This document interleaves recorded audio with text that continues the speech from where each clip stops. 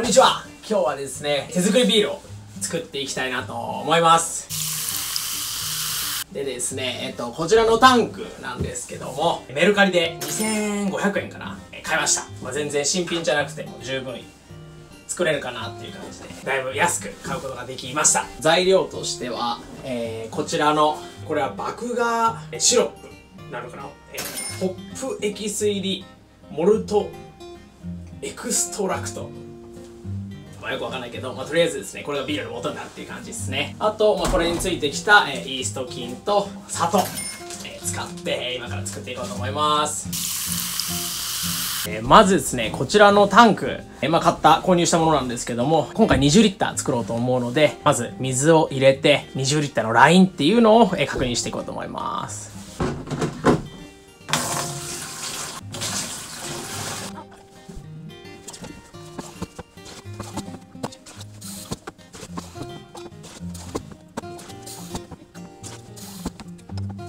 と、こんな感じでですね、どこまで水を入れれば、どの量になるのかっていうことが、えー、測れたので、次にですね、このビールを発酵させる容器の中を消毒していきたいなと思います。はい、えー、今回ですね、えー、除菌に使うのはこちらの、えっ、と、アルコール除菌ですね。えっと、まあ、キッチン用ってことで、まあ、食品に使っても大丈夫なものを使っていこうと思います。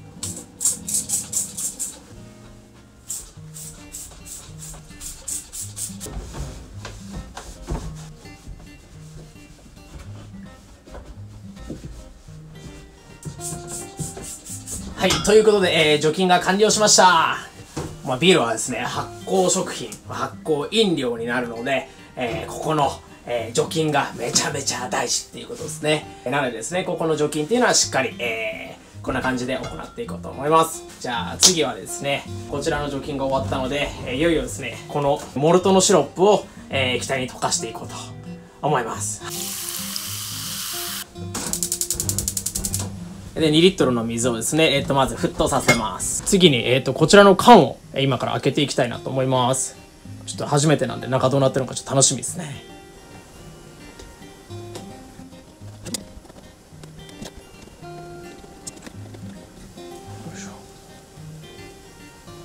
ドワン。じゃじゃじゃん。うわ、水飴みたいな感じ。ちょっとこちらですね。ちょっと味見してみたいなと思います。おすげえ。めちゃめちゃ水飴。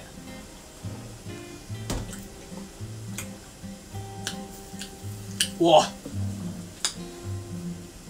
後味苦い水飴って感じっすね。苦日本の法律ではですねアルコール度数が1%以上のものを作ってはいけないので今回はですね砂糖の量っていうのを、えーまあ、減らしてというか、まあ、ほとんどないような状態にして、えー、作ることに、えー、します。しゃじゃあ沸騰したので、えー、止めます。この沸騰を止めた状態で、えっ、ー、とこちら水飴溶かしていきます。もう水飴の下。ドババババババ。バうおおやべえ溢れる。ちょっと待てほ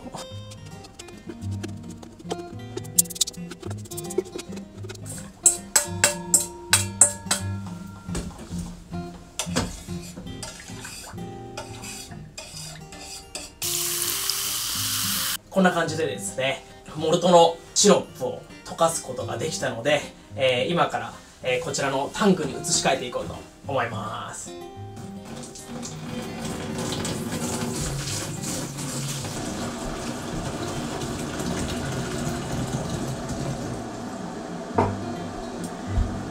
こんな感じでですね、ビールを溶かした液体を入れ終わりました。まあ、ここにですね、えっ、ー、と、今回、えー、作りたい20リットルのところまで、えー、水を、え入れていこうと思います。よし、20リットル入れ終わりました中はですね、こんな感じになってます。あわあわ。と、こちらのタンクにはこんな感じで、えっ、と、温度計がついてて、で、この、えっ、と、温度が、えー、20度から28度、まあ、結構幅広いんですけども、になったら、えー、イーストを入れていきます。まあ、今ちょっとまだちょっと入れたばっかしなんで、様子見ないといけないですけども、もう今22度ってなってるんで、もしかしたらもう結構だいぶいい感じなのかもしれないですね、えー、22度から変化がないので、えー、イーストを入れていこうと思います、まあ、触った感じもですね。そんな暑いとか暖かいとかそんな感じなくて。まあえー、常温という感じですね。うん。じゃあここにですね。このイーストを入れていきます。プレミアムブリューイングイースト。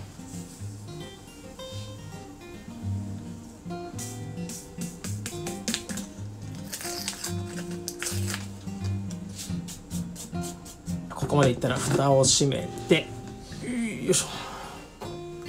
でこちらの、えー、気を抜くためのキャップを閉めてよ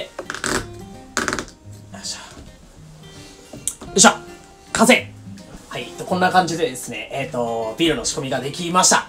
で、大体7日から10日ですね、このタンクで寝かせて、で、次の工程ですね、えー、ボトルに詰めて、えー、二次発酵させていくというところになります。この一次発酵はですね、まあ、初めての僕が今やって、えー、まあ、水の量なんかも細かく測るところも入れて、えー、45分ぐらいでできたので、まあ、実際ですね、これがもう、えー、次からは、えー、多分もう30分もかからないぐらいで一次発酵の仕込みはできるっていう感じですね。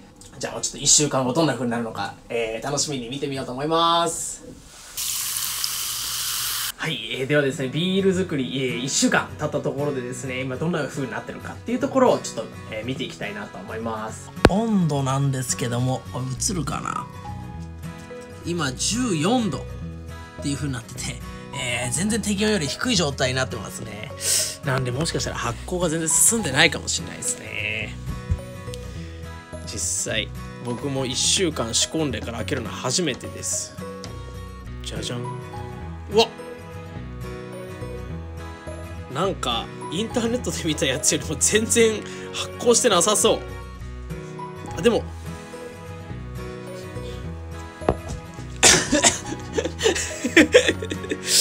やべえ。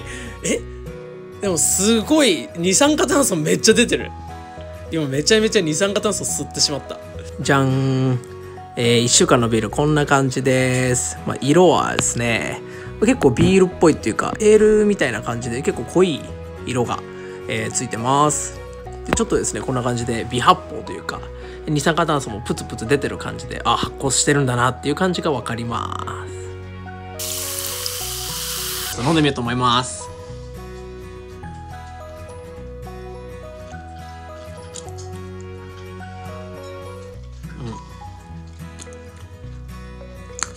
うん、うん、でもあの一番最初モルトのエキス入れた時は相当甘かったけども甘みはほとんどもうなくなってて苦みだけみたいな感じですね。うん。なんか苦い汁って感じです、うん、この1週間目、えー、仕込みから7日目の、えー、状態でした。はい、えー、今日でですね、えー、ビール仕込んでから9日経ちました。でちょっと9日目の様子っていうのを見ていこうと思います。じゃあた目はこんな感じ。ちょっと炭酸がプツプツしてるのが分かります。匂いは？うん。お！すごい。爽やかなビールの香りがする。こちらのビールなんですけども最初に入れた甘みっていうのがなくなってれば発酵が終わってるっていう証拠みたいなので、まあ、これは大丈夫と。発酵完了ということでですね。じゃあ今から二次発酵やっていきたいなと思いますで二次発酵なんですけども1リットルあたり 6g の砂糖を入れて、えー、二次発酵させていきます。でこちら今回仕込みが20リットルなので 6×20、120g の砂糖をお湯に溶かしてでそれを冷ましてからこちらのタンクに入れていきます。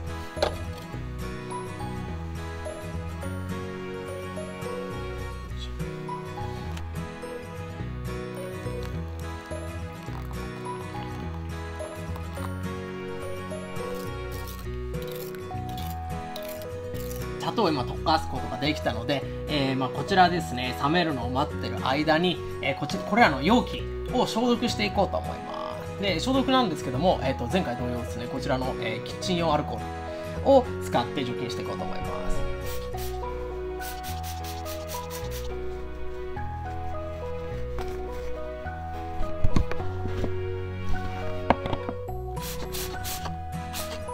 こんな感じでですね、えー、ボトルの滅菌が完了しました。でえー、最後にですねビールの注ぎ口。こちらも、えー、最後に滅菌してでいよいよお砂糖入れていきたいなと思います。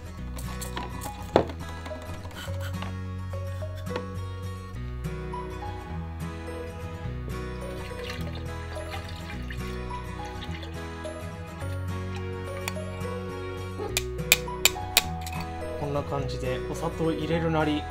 シュワシュワがどんどん増えてます。うわいきなり発酵が進んでる感じな。のかよし。ではですねいよいよ、えー、こちらのビールをタンクに詰めていこうと思います。まずこの口をですねここにつけて。でここでポイントなのが空気が入らないことなので、えー、できるだけですねこのペットボトルに詰めていくんですけどペットボトルの面に沿わせるように入れていきます。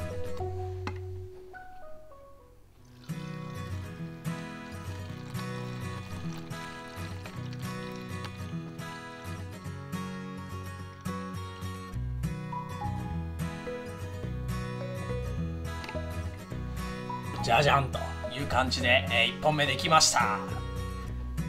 こんな感じの色に仕上がってます。で上の方もだいぶこう泡ができる感じですね。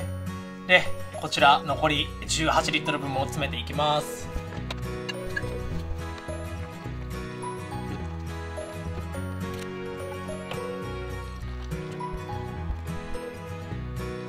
じゃーんこんな感じで、えー、ビールの仕込みができました。ちょっと最初の方と最後の方で味が変わるかもしれないんでこんな感じで番号も振ってみました。3日もすれば飲める状態になるということなので3日後また、えー、開けるの楽しみに待とうと思います。はいということでですねえっ、ー、と2次発酵、えー、今日で3日目となりました。でですね、まあ、3日目どんな感じっていうとこなんですけどももうこんな感じでパンパンに膨れてて直立しないぐらいになってます。以上ですねこうタンクの中でも最初と最後で違う可能性があるのでこれがまあ1本目。でこれがまあ中間7本目。でこれが最後の13本目っていう風になってて一応最初と最後で違いがあるかっていうのも見ていこうと思います。意外とそんなめちゃめちゃおっと。おへこんだ。すごいビールの匂いする。あれ？でも思ったほど泡立たないどうなんだろう。とりあえず1本目。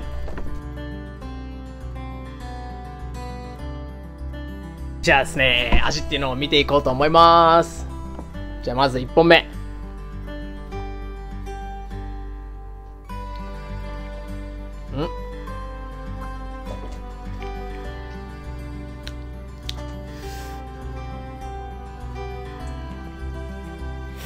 うん。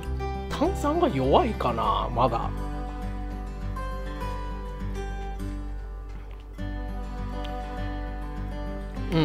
結構苦味しっかりめっすね。じゃあ次中間。7本目いきます。うん。もっと炭酸が弱い気がする。でこれボトルが他のペットボトルと違って瓶だからもしかしたら上から炭酸抜けてた可能性ありますね。じゃあ最後ちょっと一番炭酸強そうな、えー、13本目。うん。うまい。あ。やっぱりある程度炭酸しっかり出ないといけないんだな。あと一番最後のやつはあの砂糖が沈んでて他のよりも糖度が高い可能性が強いなと思ってて。あやっぱし。こんぐらい炭酸強い方がしっかり酸味効いてて美味しいかもしんないですね。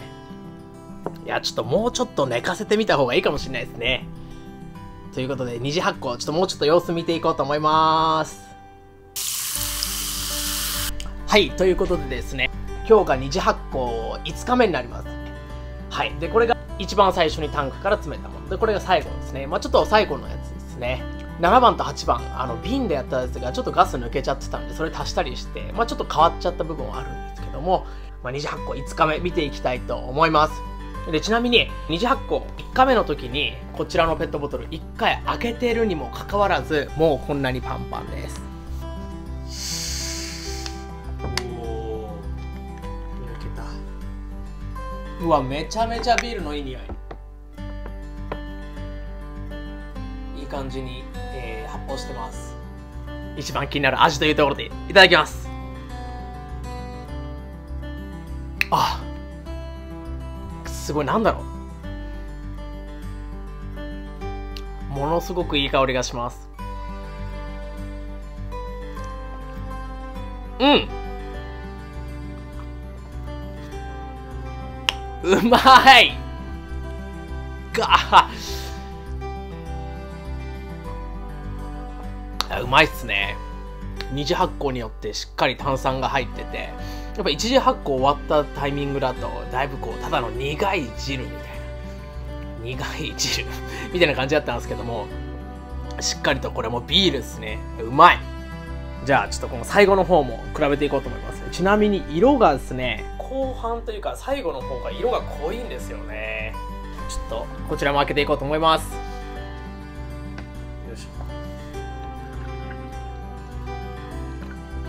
グラスに入れた感じはあんまし違いが分かんないですね。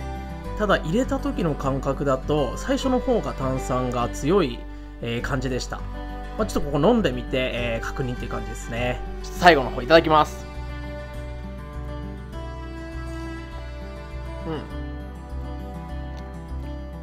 うん。うん。やっぱ炭酸ちょっと弱い気がするな。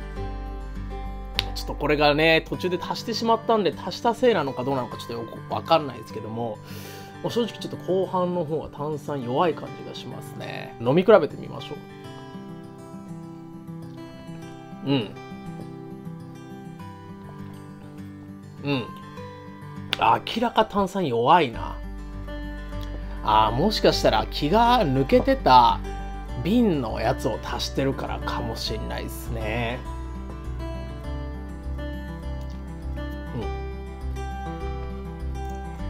まあともあれ一番がうまい